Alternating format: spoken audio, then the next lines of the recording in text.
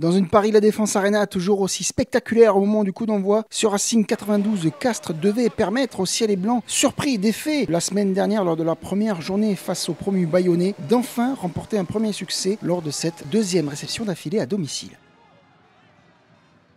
Mais voilà, face à eux, cette équipe qui la connaît si bien, le Castre Olympique, le CO en marine et bleu, le CO qui va être tout de même dominé sur les premiers instants, et Teddy Reberen qui va lancer ses gros, avec notamment Palou, Gomessa au pré.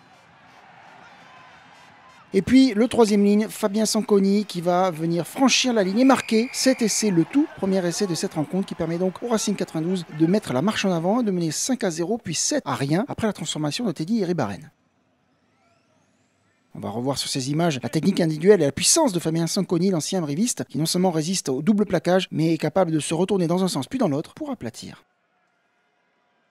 Castres va réagir, va porter les ballons, va essayer de, jouer avec une équipe plutôt remodelée, on va essayer de, jouer debout. Et Rado va se faire intercepter par le demi d'ouverture Antoine Gibert, le seul demi d'ouverture valide de l'équipe du Racing 92 qui vient marquer 4 minutes après le deuxième essai déjà des franciliens.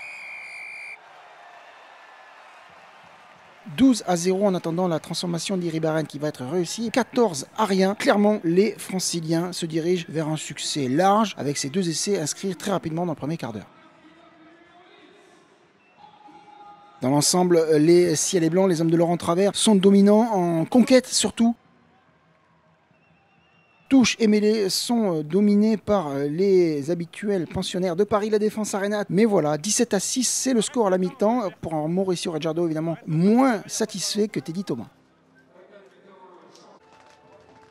Le deuxième acte va reprendre ben, sur les mêmes habitudes de jeu.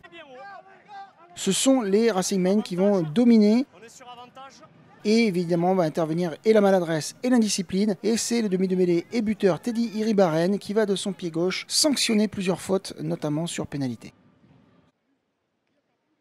Monsieur Castagnede est vigilant à la conquête et Castres va un petit peu se refaire dans l'épreuve de force de la mêlée sur la fin de rencontre.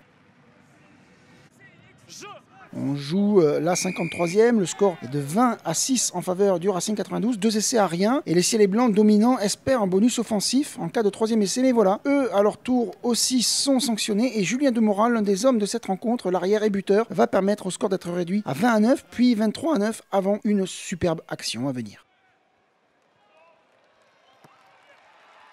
Julien Dumoral à l'arrière justement va profiter d'un coup de pied de dégagement pour relancer, contourner toute la défense adverse, venir trouver son ailier Geoffrey Palis qui va pouvoir du coup aller marquer l'essai de l'espoir puisque le score est de 23 à 14 et qu'en cas de transformation et de nouveaux points marqués, les castrés pourraient revenir dans le point de bonus défensif oui, mais voilà, Henri Cocotte qui a pris le relais au but va manquer la transformation et ainsi ben, les Castrés vont être frustrés de ne pas pouvoir ramener de points de bonus défensifs de ce déplacement et les Racingmen, tout de même heureux de l'emporter, ne pourront pas marquer de bonus offensif. Le Racing 92 du senior Dominic Bird empoche en tout cas l'essentiel, la victoire.